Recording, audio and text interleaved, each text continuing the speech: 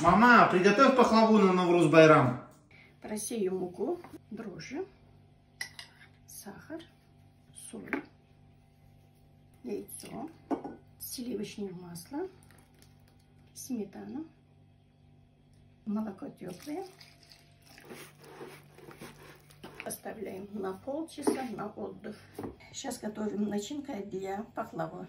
Это грецкий орех потертый, гвоздика, сахар.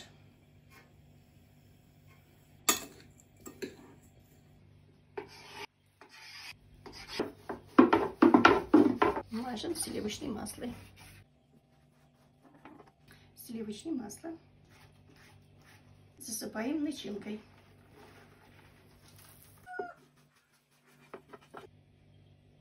Будем мазать сливочным маслом и будем засыпать орехом.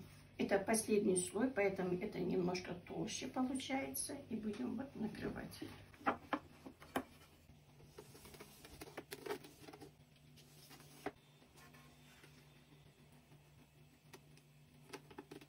Нам нужен желток, растительное масло, молоко, куркума. На каждый ромбик поставим грецкий орех, вот такой половиночку. 180 градусов на 40 минут. Делаем сироп для пахлавы. Вода, сахар. Поставим на огонь. Сироп добавляю ложкой меда. Заливаем сиропом. Заливаем сливочным маслом. Еще раз поставим на 5 минут.